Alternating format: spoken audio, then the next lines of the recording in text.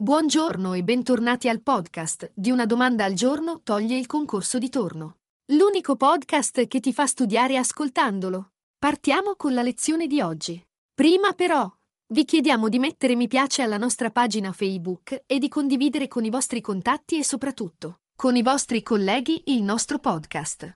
Vi ricordiamo inoltre che potete trovarci su Spotify, Spreaker, SoundCloud, Google Podcast e infine sui vostri dispositivi Amazon Alexa pronunciando la frase Alexa apri podcast domande. Detto questo partiamo con l'argomento di oggi. Terminiamo oggi la panoramica di leggi importanti per tutte le professioni sanitarie. Oggi, infatti, parleremo di leggi di carattere sociale e di tutela verso chi è curato e di chi cura, le quali vanno a completare il quadro normativo che definisce l'organizzazione sanitaria, in tutti i suoi aspetti, del nostro Paese. Iniziamo parlando della legge 104.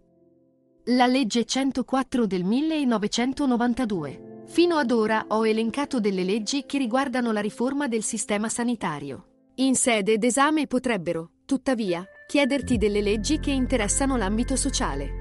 Tra queste ti ricordo la famosa legge numero 104 del 1992, ovvero legge quadro per l'assistenza, l'integrazione sociale e i diritti della persona handicappata. Questa legge rivoluzionaria si rivolge alle persone che presentano una minorazione fisica, psichica, sensoriale o che causi difficoltà di apprendimento, di relazione e integrazione. Lo scopo è quello di garantire a questi utenti i seguenti diritti. 1. Diritto alle cure e alla riabilitazione. 2. Diritto all'educazione e all'istruzione. 3. Diritto al lavoro e all'integrazione lavorativa. 4. Eliminazione barriere architettoniche. Parliamo ora di una legge emanata nel 1978.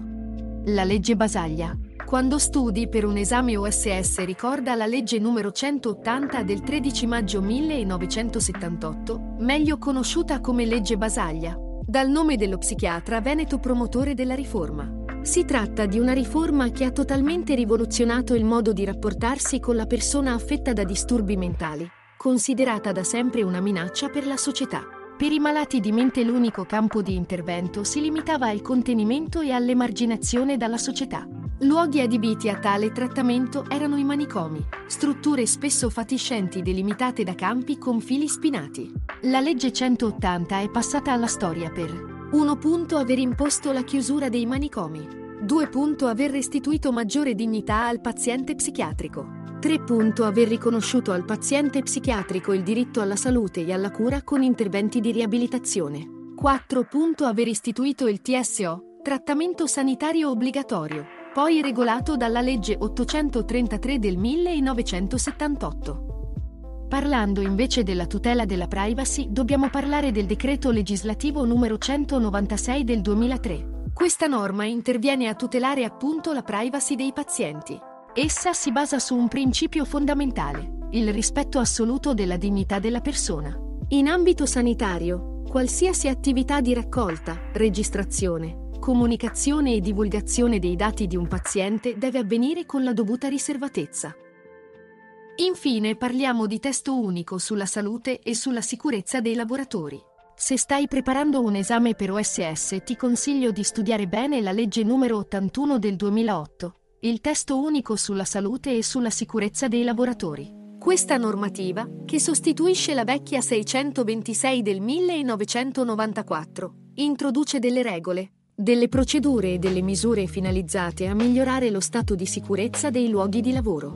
L'obiettivo della legge è quello di eliminare, o comunque limitare il più possibile, la percentuale di rischio legato all'attività professionale, come incidenti o malattie professionali. La legge stabilisce una serie di obblighi per il datore di lavoro finalizzata a garantire la sicurezza del luogo di lavoro e preservare la salute dei lavoratori. Dopo aver ascoltato questa audio lezione, vi saluto e vi invito a condividere con i nostri colleghi i podcast e tutto il materiale che condividiamo sulla nostra pagina Facebook, invitandoli a unirsi alla nostra community. Un saluto da Una domanda al giorno toglie il concorso di torno. Alla prossima audio lezione.